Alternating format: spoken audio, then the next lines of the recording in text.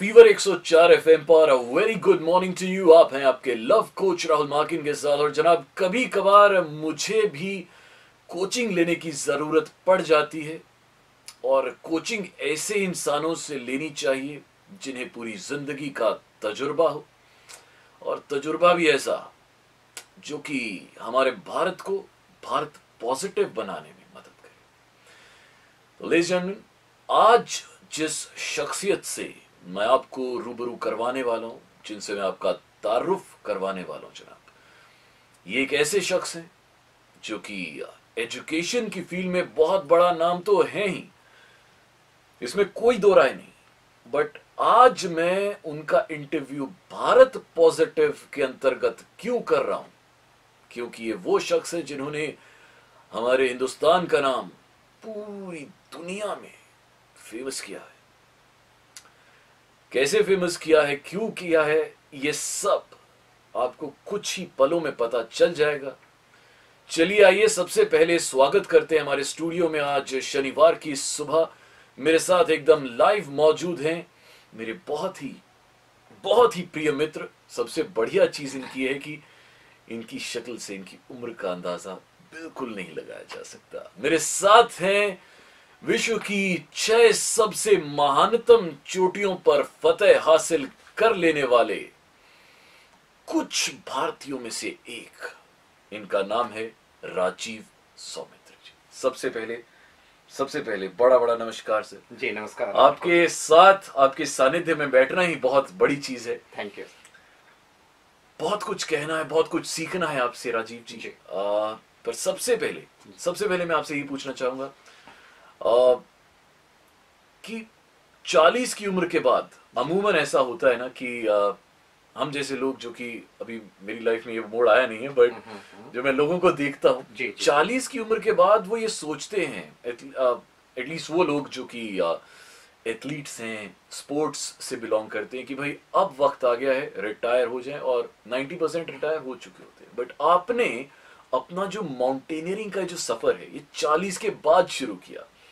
तो जनाब मैं आपको बता दूँ कि ये जो जर्नी है इनकी ये जो सफ़र है इनका ये बहुत अच्छा है। इसे सुनना डेफिनेटली बनता है। तो आइए जी सबसे पहले सवाल से शुरू करते हैं राजीव जी। जी। कहते हैं कि जो इंस्पिरेशन है वो बचपन से ही मिलनी शुरू हो जाती है। जी बिल्कुल। पर आपकी फैमिली में तो कोई भी ऐसा नहीं था जो कि स्पोर्ट्स से बिलोंग करता था एथलेटिक्स से बिलोंग करता था। आपके माता पिता दोनों ही एजुकेशन की फ़ील्ड से थे।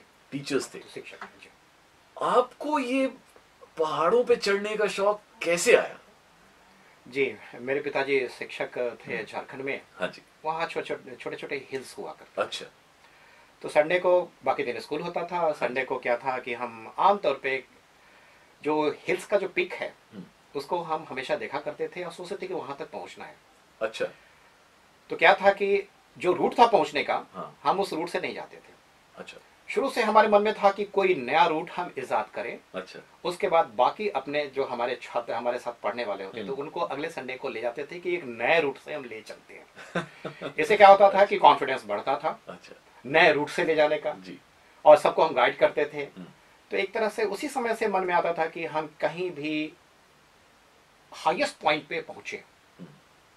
तो स्पष्ट है कि बाद में भी हमने जो काम किया ऊंचाई तक पहुँचने का चाहे इंस्टीट्यूट हो या फिर माउंट एवरेस्ट जो कि इस पृथ्वी का हाईएस्ट पीक है। क्या बात है क्या बात जी। तो ये वो इंसान हैं जिनके सामने दुनिया की हर चोटी पड़ गई है छोटी।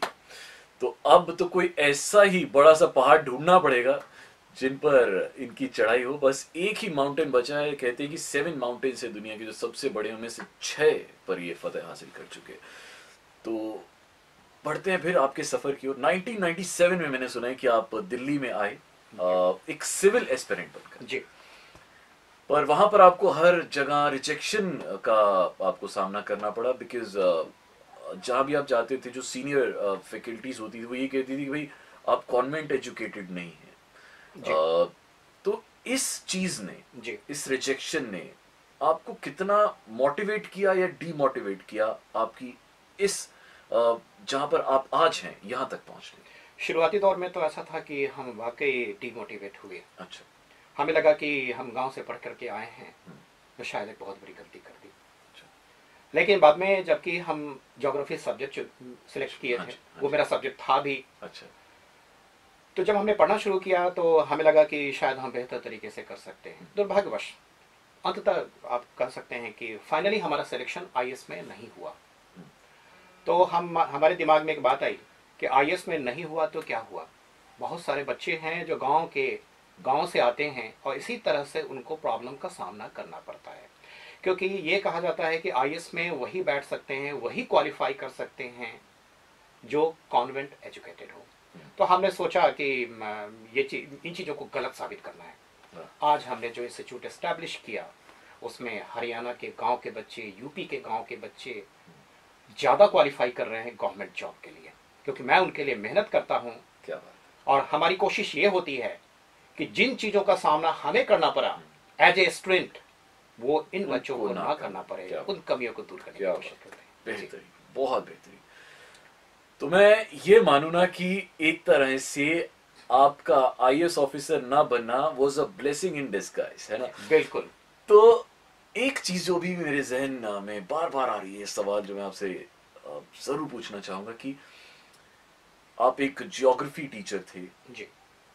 और ज्योग्राफी की किताबों से उन नक्शों से निकलकर असली ज्योग्राफिकल टेरेन में घुसना ये जो फैसला था ये आपने ये मतलब बचपन से ही आपके जहन में तो चल रहा था पर पक्का वो फैसला कब हुआ किस उम्र में हुआ ये ये जो पॉइंट था ये कब आया?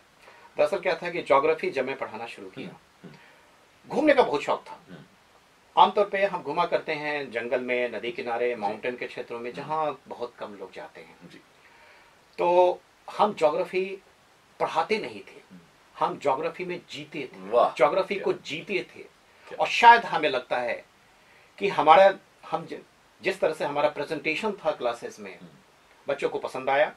धीरे धीरे हमारी लोकप्रियता बढ़ती गई बच्चों की भीड़ बढ़ती गई। आज तरह की भीड़ को संभालना बहुत मुश्किल हो क्या बात है क्या बात है। सो मैं आपको बता दूँ कि बीच में फिर इन्होंने इनका जहन बना कि भाई जो मेरा मेन एम है जिसके लिए मैं पैदा हुआ हूँ वो शायद जियोग्राफी को असल में उस पहाड़ तक लेके जाना है उसे जीतना है। तो शायद आपने तीन हफ्तों की छुट्टी लेकर ये जो एवरेस्ट के लिए जो ट्रेनिंग है ये लेनी शुरू की। तो एवरेस्ट की बात करते हैं। जी बिल्कुल। एवरेस्ट में पहला अटेम्प्ट जो था आपका वो शायद कुछ क्लाइमेटिक कंडीशंस की वजह से खराब हुआ था डेथ आपको वापस आना पड़ा। दूसरा अटेम्प्ट जो था और हम बार बार मैं आपको इस चीज़ का इसीलिए ध्यान दिला रहा हूँ क्योंकि इनकी उम्र उस वक्त 41 से भी ज़्यादा थी जब आपने दूसरा अटेम्प्ट किया एवरेस्ट पे चढ़ने का। तो कौन कौन से चैलेंजेस थे जो बहुत बहुत मुश्किल थे उस वक्त पार करना जब आप एवरेस्ट की चढ़ाई चढ़ रहे सबसे बड़े चैलेंजेस होते हैं कि अगर आप फिजिकली फिट भी हैं हम्म। चाहे उम्र थर्टी हो या फोर्टी हम्म। उससे भी ज़्यादा ज़रूरी है क्लाइंबिंग के लिए हम्म। कि आप एक्लेमेटाइज कितना जल्दी होते हैं। ओके सौभाग्यवश हम बहुत जल्दी एक्लेमेटाइज होते हैं। शायद इसके पीछे हमारा जो एक सोच है पॉजिटिव सोच अच्छा।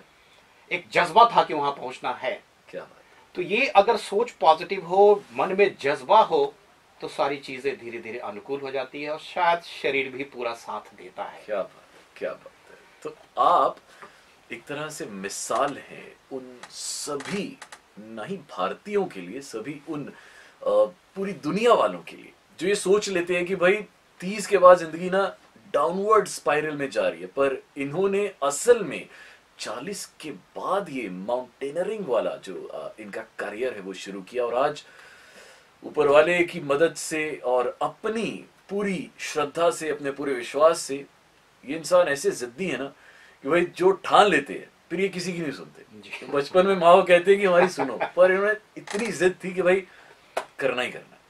छह विश्व की छह सबसे बड़ी चोटियों पर आप विजय आज प्राप्त कर चुके हैं। तो यकीनन कुछ ऐसे एक्सपीरियंसेस भी हुए होंगे जैसे कहते हैं जिन्हें नियर डेथ एक्सपीरियंसेस जब आपको लगा कि भाई अब तो दूर से ऊपर वाले को सलाम कर दिया जाए और घर वालों को बाय बाय कर दीजिए शायद वापस आना बहुत कठिन है। तो ऐसा कुछ हुआ था कभी? जी बिल्कुल हुआ था। ये 2016 में अच्छा। जब हम गए थे अलास्का अच्छा। माउंट मैकिनले जिसका अच्छा। नया नाम माउंट देनाली हो गया है। अच्छा। अमेरिका का नॉर्थ अमेरिका का हाईएस्ट पीक है। उस दौरान हमारे जो साथी थे वो पीछे छूट गए थे क्योंकि हमारी थोड़ी स्पीड ज़्यादा थी। अच्छा। कैंप वन से कैंप टू के दौरान रास्ते में ही स्नो स्टॉर्म आया। ग्लेशियर के क्षेत्र में थे। स्नो स्टॉर्म ऐसा था कि हमें एक दो फीट के डिस्टेंस पर भी कुछ दिखाई नहीं देता था। अब हम बीच में रुक गए। हम किसी तरह से बीच वाले एक छोटे से कैंप में पहुँचे। हमने आवाज़ लगाई कि कोई भी हो, कोई नहीं था। और कुछ भी दिखाई नहीं दे रहा था। बाकी लोग पीछे थे तो हम समझ गए कि हम तो बीच में फंस गए। रात भर अगर रुकना पड़ा, चूँकि हमें रास्ता भी दिखाई नहीं दे रहा है।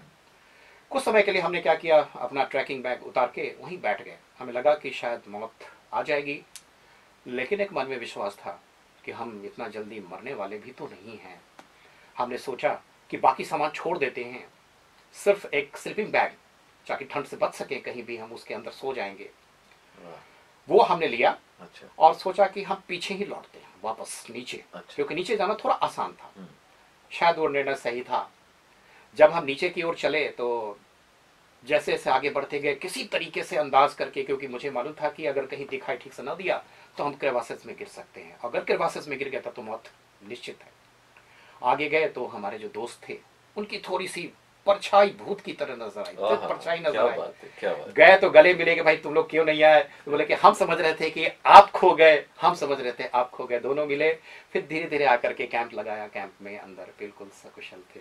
क्या बात तो ये एक घटना घटी थी जिसमें कि लगा था कि शायद मौत आ जाएगी लेकिन ऐसा नहीं हुआ। हमेशा ध्यान रखनी चाहिए कि कहीं भी ऐसा लगे अपने आप पे विश्वास रखिए। अपने आप पे विश्वास रखिए और ऊपर वालों वाले पर भी विश्वास रखेंगे तो वो ज़रूर मदद करता है। वो आत्मविश्वास देता है कि आप ज़िंदा रहोगे कुछ नहीं होगा। क्या बात है। जी। ज्योग्राफी आप पढ़ाते भी हैं जी। ज्योग्राफी आप पूरी दुनिया की एक्सप्लोर भी करते हैं। तो दोनों में से कौन सा काम आपको ज़्यादा अच्छा लगता है? वैसे अब तो चूँकि ज़्यादा बिज़ी हो गया हूँ पढ़ाता बहुत कम गाइड करता हूँ स्ट्रेटजी बताता हूँ एग्ज़ाम की। घूमना थोड़ा आसान है। क्योंकि घूम घूमने के दौरान क्या होता है कि हम कई क्षेत्रों से गुजरते हैं बहुत से डेंजरस काम करते हैं डेंजरस क्षेत्रों में जाते हैं। उससे उसमें सबसे बड़ा फ़ायदा क्या है? जो हमने महसूस किया है कि अगर आप कोई खतरनाक काम करते हैं तो काम करने के बाद आपके कॉन्फिडेंस में बहुत ज़्यादा वृद्धि होती है। क्या बात है। बिल्कुल और वो कॉन्फिडेंस शायद आम ज़िंदगी में बहुत काम आता है। लगता अब जैसे कि लगता है कि जो हम सोचते हैं वही होता है। शायद हमारी सोच में ताकत है। इसलिए ऊपर वाला भी वही करने को शायद मजबूर हो जाता है जो हम सोचते हैं। क्या जज्बा है मज़ा आ रहा है आपकी बात करके क्या बात है। तो वो उम्र जैसे मैं आप मैं मैं अभी भी ऑन स्क्रीन में आपको बता रहा हूँ कि ऑन रेडियो बता रहा हूँ बहुत मुश्किल है इनकी उम्र जज कर पाना सो आप से बेहतर है मैं खुद ही पूछ लूँ इस वक्त। क्यों कहते हैं कि किसी लड़की से उसकी उम्र नहीं पूछनी चाहिए एक आदमी से उसकी आय नहीं पूछनी चाहिए और बच्चों से उनके मार्क्स नहीं पूछने चाहिए। तो आपसे मैं आपकी उम्र पूछ सकता हूँ। जी हाँ प्लस है। प्लस लगा दिया। तो अमूमन ऐसा होता है कि 40 के बाद तो हम हिम्मत ही छोड़ देते अमरनाथ जाना भी बहुत दूर का सिर्फ़ सोचते हैं कि एवरेस्ट तो बहुत दूर की बात है। और आपने तो सारी छह की छह चोटियाँ आप विजय हासिल कर चुके हैं फतेह हासिल कर चुके हैं। उन सब लोगों के लिए जो सिर्फ़ इस बारे में सोच सकते हैं कि हम कभी जाएँगे सपने में देख सकते हैं बट कर नहीं सकते। आप आप उनके लिए कुछ कहना चाहेंगे कोई मैसेज देना चाहेंगे सर जी हाँ अगर वो कुछ करना चाहते हैं मन में जज्बा है कि कुछ करें हम्म। तो सबसे पहले अपने आप पे विश्वास रखें। ओके अपनी ताकत पे विश्वास होना चाहिए। आमतौर पे लोग समझते हैं कि अब हमारी उम्र ज़्यादा हो गई है शायद हम कमज़ोर हो गए हैं। लेकिन मुझसे अगर पूछेंगे तो लगता है कि अब हम ज़्यादा एनर्जेटिक है। शायद स्टेमिना तीस साल में जितनी नहीं रही हो अब उतनी स्टेमिना शायद उससे ज़्यादा हो गई है। तो आप समझते हैं कि अगर पॉजिटिविटी है तो उसमें ताकत है और आप अगर कुछ करना चाहते हैं तो कर सकते हैं। बशर्ते कि आपकी स्ट्रैटेजी नॉलेज होना चाहिए क्योंकि नॉलेज अपने आप में एक ताकत है। कोई भी काम करने से पहले उस संदर्भ में पूरी जानकारी हम लें। उससे कॉन्फिडेंस बढ़ता है। तभी तो हमने भी ट्रेनिंग ली थी। ज्योग्राफी के टीचर तो थे लेकिन हमने ट्रेनिंग भी ली और ट्रेनिंग लेने के बाद हमारा कॉन्फिडेंस और क्या बात है। और इसी के साथ मैं एक चीज़ और यहाँ पे ऐड करना चाहूँगा क्योंकि नॉलेज सरस्वती एक ऐसी चीज़ है जितनी आप बांटेंगे उतनी ज़्यादा बढ़ेगी। तो इतना जितना तजुर्बा इन्होंने आज तक हासिल किया है वो अब बच्चों में बांट रहे हैं। ना ही सिर्फ़ किताबी नॉलेज बल्कि वो सब जो उन्होंने पहाड़ों पर जो जिया है वो ज़िंदगी वो लम्हे आज वो बच्चों को सिखाते हैं सुनाते हैं and it's a very good opportunity for you as well कि अगर आप माउंटेनियरिंग की क्लासेस लेना चाहते हैं he is always available with you और सबसे अच्छी चीज़ है कि इनकी एक अपनी फाउंडेशन है जिसका नाम है शायद हर्षित फाउंडेशन जिसके अंतर्गत ब्लाइंड चिल्ड्रन को फ्री शिक्षा दी जाती है जो डिसेबल्ड बच्चे हैं स्पेशल बच्चे हैं उनको भी काफ़ी डिस्काउंट दिया जाता है पढ़ाई में। That's it's an amazing job that is doing sir और I wish you all the best and all the success अब आपकी सातवीं चोटी की जो चढ़ाई है वो आप कब करने वाले? वो नेक्स्ट जून में। अरे क्या 2018 क्या बात है। सो so, हमारी तरफ़ से हमारे पूरे फीवर की तरफ़ से और पूरे हिंदुस्तान की तरफ़ से हमारे आ, सब सच्चे दिल से हम आपको फ़र्स्ट ऑफ़ लक विश करते हैं और आशा करते हैं जैसे आपने ये छह चोटियाँ फतेह हासिल किए हमारे हिंदुस्तान का नाम आप और रोशन करेंगे और इसी तरीके से आ, हमें और प्राउड फील कराते रहेंगे। Thank you very much it was lovely meeting thank you Bharat positive के अंतर्गत हम इसी तरीके से और इसी तरह से ऐसे जो लोग हैं जिन्होंने कुछ ऐसा काम कर दिया है कि उनका जो नाम है हिंदुस्तान के नहीं, बल्कि पूरे विश्व की हिस्ट्री की किताबों में लिखा जाएगा। ऐसे लोगों से हम आपको रूबरू करवाते रहेंगे। फीवर एक सौ 104 एफएम आप सुनते रहिए, आपके लव कोच राहुल मार्किन के साथ। Have a lovely weekend